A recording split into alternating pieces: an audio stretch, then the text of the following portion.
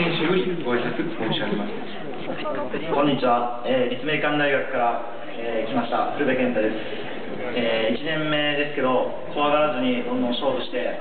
えー、試合に絡んでいきたいと思っています、えー、またサポーターから、えー、いっぱい応援してもらえるように頑張りたいと思っていますので、えー、応援よろしくお願いします。